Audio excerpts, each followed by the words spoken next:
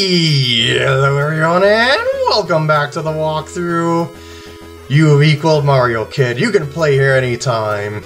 Yes, I will. So here we go, the 18-hole version of Golf Guru's Pitch and Putt without the death of, well I should say the evil of needing to be on in one and one putt. So this is a more casual round through Golf Guru's Pitch and Putt. So we start out with the first hole, the original Golf Guru's Pitch and Putt, and it looks like I'm gonna get a birdie, which pleases me pretty well. By the way, for some reason this doesn't have any birdie badges, I don't know why, but whatever. so now look at this, see this second hole? You, recognize the screen, right? Well, we're hitting to it from the teeing area where the first hole is. Yeah, this is how this course does 18 holes. It makes you hit to greens at all sorts of different angles that you haven't hit to before. And you might have been able to uh, tell that they were going to do this from a prior run, uh, if you managed to, you know, get that far. And, well, I, well, you probably did get that far, because even if you flubbed your run through Golf Guru's Pitch and Putt, you could still play through the round. But like the fourth hole, it had there's all this fairway over to the left of the green. It looked like another hole entirely, but you never played that hole in that direction. So yeah, that, that's what this course does. It has you play holes in all sorts of different ways. And uh, this is going to be dicey. this course is actually, if you're trying to make a good score on it, is probably one of the hardest courses in the game, if not the hardest course in the game to get a good score on. Because you know, par threes are always the most hard to get birdies on to begin with, but when you're when you're trying to get really, really tight up in the holes, it's yeah, it's not really all that easy to, to birdie these things consistently. So it's just a matter of doing the best you possibly can, and hopefully, hopefully getting a couple holes in ones along the way. um, that looks good, I think. I'm not gonna hit it at full, though. By the way, the fourth hole here is the same as the the second hole, the regular Golf Guru's Pitch and Putt uh, Course of Death, but much more casual tone, complete with a more casual music. like you might have noticed that it was the it's the more overworld music type of thing when you're in the practice areas. Yep. Oh geez, Genius's hat. Here we go. Here we go! Actually, this shouldn't be that bad.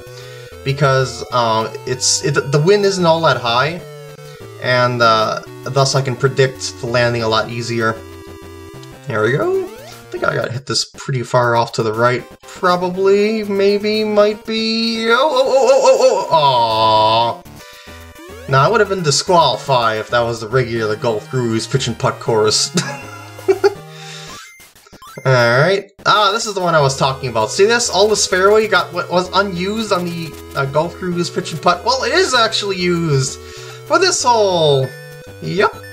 So you can now run it up to the hole if you would like to, but for me, I like to drop it down high and soft if at all possible. And there we go. Now, let's see if I can make this putt. I probably can make this putt. This seems to be a kind of putt that I can make. And sure enough, I made that putt.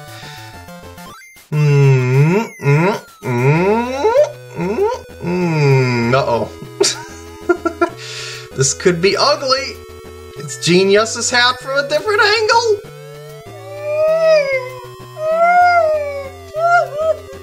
Okay, that's good. I think I can make that. Just a little teensy tiny bit to the right. Hit about there in power, and the brake should turn it. Yeah. The ball actually went through the edge of the hole there a little bit, so it kind of glitched graphically, but that's cool. Uh, I'll hit there, and a little backspin, and it should land high and soft, because the wind... Ooh, ooh, ooh, ooh, a little bit long. I would have been disqualified, but no, no, this is a casual run through this course of death. Alright. I think I'm gonna hit maybe about there because of the bunker and wind combined. Yeah, I, was, I wasn't really too sure about that. But that's alright. Oh, by the way, that one-up mushroom in the locker room, I'm not sure if it's really there, and maybe I was just remembering wrong, because you see off camera, I was doing some tests uh, of on my actual real deal Game Boy cartridge of checking those lockers after every tournament, and I still couldn't find any one up mushroom there. And, and as you know, the the main changes happen after tournaments, so yeah. so I don't know why I was thinking there was a one up mushroom there because there might just might not be a one up mushroom there after all. So yeah, I don't really think there is one there. But anyway, this hole is kind of diabolical um, when you're not... I mean, when you're hitting to this hole from that side, because you're almost better off hitting behind the hole, I mean, behind the green, because there's very little green to work with. But that's the idea here of the Guru's Pitch and Putt, is to put you in all sorts of awkward situations that test you in every way, shape, and form. Uh, how about this? Maybe a little bit more. Yeah, this looks... No, no, no, wait, wait. How about, like... Uh, there, there, that's good. I'm gonna hit there and that it lands on the green. It should land on the green. And a little bit long, so maybe I should have aimed a little bit more to the right. But it's a casual run through these holes, so we don't have to worry about the death that is the one-on-one -on -one putt challenge. Just enjoy your pitch and putt run. At this super secret, incredibly difficult to unlock course. Playing this course is a privilege, because of how difficult it is to be able to unlock it. At least in my opinion. mm, it's gonna be a little bit long, I think. Oh, that's not bad, though. Even if it's in the semi-rough, I can I could still put it in, but not even in the semi-rough, it's on the green edge, which would have disqualified me, but nope, nope, nope. I'm good. I'm more interested in the total score than the whole one-on-one -on -one putt challenge, in all honesty, but that one-on-one -on -one putt challenge was quite a doozy in itself. And by the way, hitting to this green from this angle is a little bit tricky. But yeah, I managed to do it. The, the reason why it's tricky is because you're hitting to the thin side rather than the, the long side, like from the other side. But, uh, I manage. I manage. And now we got this hole from this side. This should be pretty easy. It's a lot different than hitting to this hole from the other side, isn't it? mm, mm, mm, look at that. Look at that. Don't even have to move the cursor at all. Just hit it 10 feet. And she goes in. Alright. Oh boy. I'd be worried about this if this was the one-on-one -on -one challenge. oh shoot! Wow, I, I, I really mishit that because I laughed. Uh, well, I can sort of get away with that though. Sorta, kinda, maybe? We're gonna see right here, right now. Uh, yep, I got away with it. There we go. Now, this hole from the other side is the one that we had to hit to on the Golf Guru's Pitch and Putt Challenge of Doom! But here... Oh wow, that was nice. uh, but here, you can be a little more... I guess you could say... closer. Like, even if you hit in the semi-rough, you can do the chip-in thing. But, you know, you can't do that on the actual challenge challenge. Alright. The screen is the last screen on the original challenge, hitting to it at a different angle. Not too difficult. And I'm not going to move the cursor at all, because I think it's going to, yeah, it's going to bend just right. Now we hit to this screen from the other side. Yeah, it's this teeing area. This would normally be put to the uh, ninth hole there. Uh, but, but, but, but, that's not how it works here. Oh no! Now I'm kind of between clubs, so I'm gonna hit there with backspin and let her fly. This is gonna be just fine. Ooh, almost bounced in. I, I, for a second there, I thought it was gonna bounce in, but nope, it didn't. Hmm. And now we hit to that green from that same teeing area to make up the ninth hole. Uh, that should be good with a little backspin, and one notch off the max. Yeah, one notch off the max does pretty well, I have to say. Ooh, ooh, ooh, ooh! It touched the hole a little bit because you've seen it bend. Oh! Well, that's not bad. 14 under par. Mm-hmm. oh, yeah. Oh. Ho, ho, ho, ho. Yeah, you get experience points for playing this course, too. I think I'm going to increase that. There we go. And we're done here! well, actually, I could go back and get the other, uh, bird, I mean, birdie the other holes if I wanted to.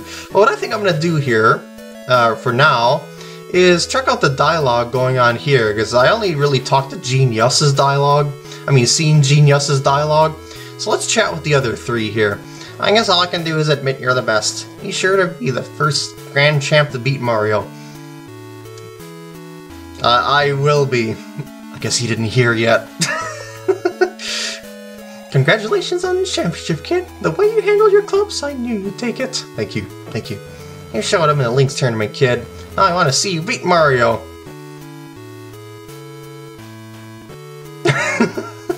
Alright, so let's see what these guys have to say. It's the, the X-Club champs. well, why they reserved for them and not some other champ, you know, like me? It's, it's kind of crazy if you think about it. oh, whatever. The X-Club champs in the lounge again today. They're always in the lounge.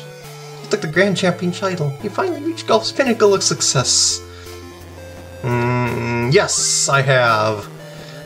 Mm, mm, let's say no this time. Alright, I will go later. Wink, wink. Alright, so that I'm gonna end off the part here. But there's more. What? There's more, you might be asking. Yeah, um, I'm planning on doing some other stuff around here, like, say, getting the birdie badges that I missed. I wasn't initially planning on doing that, but uh, I thought because people haven't really seen people get all the birdie badges legit in this game, you know, without the save and quit trick, I thought I would show that off. As well as, um, I'll probably do an, at least one more run at the Peach's Castle grounds, because, well, that course only gets one run through if you beat it on the first try, in terms of, you know, like, doing all the game's tasks, so it's kind of weird, that course doesn't get all that much love. As a matter of fact, the regular Mario characters are uh, pushed off to the side quite a bit in this very unique Mario game in favor of all uh, new characters for this game. So maybe that's why. Maybe they wanted to keep things as fresh as possible here. And they, they to stray from the typical Mario things, including the uh, um, including the shaped holes of Mario's characters. or something like that. I don't know, but yeah, I mean, I suppose. You, whoops, I didn't mean. I keep getting stuck on this guy, and, and when you when you when you push against someone, you end up talking to them. Yeah. but anyway, with that, I'm gonna end off the part here. You get what I'm saying here. I hope you enjoy, and I'll see you in the next part. Let's do a couple more laps while I fade to black.